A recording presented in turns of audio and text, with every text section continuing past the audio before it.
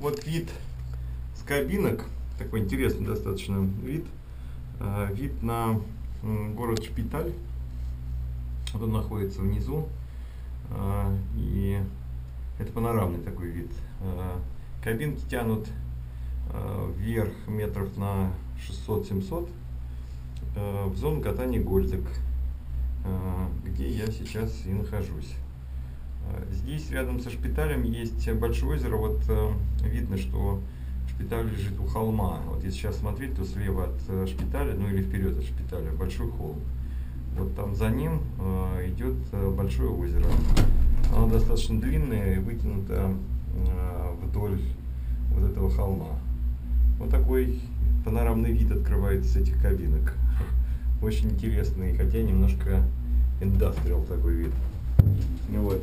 А это я сейчас покажу вверх.